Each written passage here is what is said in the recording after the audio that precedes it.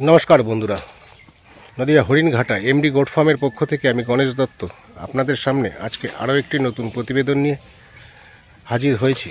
তো, আজকের যে প্রতিবেদন, এই প্রতিবেদনটার মূল উদ্দেশ্য হচ্ছে যারা নতুন ছাগলের ফার্ম করতে আগ্রহী বা মনে মনে ভাবছেন যে ছাগলের ফার্ম করে আমি বছরে বিশাল একটা অ্যামাউন্টের টাকা আর্ন করব তাদের উদ্দেশ্যে। কারণ ছাগল পালনটা অ্যাকচুয়ালি ওই যে কথায় আছে, দিল্লি কা লাড্ডু, যে খেয়েছে সেও পস্তাবে আর যে না খেয়েছে সেও পস্তাবে। তো কেউ কেউ হয়তো ভাবছেন যে আমি বেকার আছি, আমি ছাগল পালন করে আমি প্রতি মাসে মাসে একটা ইনকাম করব।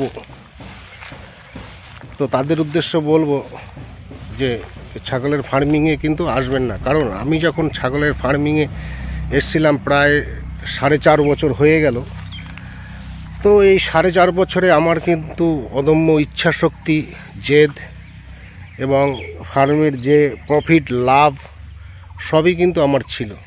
সবই করেছি, প্রচুর টাকা ইনকাম করেছি। কিন্তু তার সত্ত্বেও আমি ছাগলের ফার্ম বন্ধ করে দিতে আমি কিন্তু বাধ্য হচ্ছি। কারণ ছাগলের ফার্ম কিন্তু কোনো একটা লাইফ হতে পারে না। কারণ এতে যা পরিশ্রম, কঠোর পরিশ্রম, আপনি যে কোনো কাজ বলেন, যে কোনো কাজ, সমস্ত কাজের থেকে কিন্তু এতে কিন্তু কঠোর পরিশ্রম লাগে। তো একটা সময় আমারও জেদ ছিল যে যেইভাবেই হোক আমি আমি বিশাল বড় একটা ফার্ম করব। কিন্তু আজকে এই পরিশ্রম বা খাটনির ভয়ে আমি কিন্তু ফার্মটা বন্ধ করে দিতে বাধ্য হলাম। হয়তো অনেকে বেকার কাজকর্ম পাচ্ছেন না চাকরি বাকরি নেই, তারা ভাবছেন যে ছাগল পালন করব, কিছু টাকা ইনকাম করব। হ্যাঁ সেই ক্ষেত্রে আপনারা অল্প পরিমাণে ছাগল রেখে একটা সাইড ইনকাম আলাদা ইনকাম এটা আপনারা করতে পারেন। যে একটা পার্ট টাইম ইনকাম হলো। কিন্তু যে আপনি ছাগল পালন করে আপনার লাইফে যে আপনি বিশাল কিছু করবেন, বড় কিছু করবেন, জীবনের শখ আহ্লাদ পূরণ করবেন তা কিন্তু না। ওই কোনো রকম ডাল ভাত খেয়ে, নুন ভাত খেয়ে কোনো রকম চলে যাবে। এর বেশি কিন্তু না। কিছু কিছু ফার্মার আছে ফার্ম করছে। যারা এখনও বিয়ে শাদী করেননি, সংসার ধর্ম নেই, বউ বাচ্চা নেই, তারা হয়তো ছাগল পালন করছে, ছাগলে প্রফিট করছে, ঘাস বিক্রি করছে, ঘাসের চারা বিক্রি করছে। তারপরে অন্যান্য জায়গা থেকে ছাগল কিনে এনে সেই ছাগল বিক্রি করছে মানুষের কাছে। আলাদাভাবে একটা প্রফিট হচ্ছে।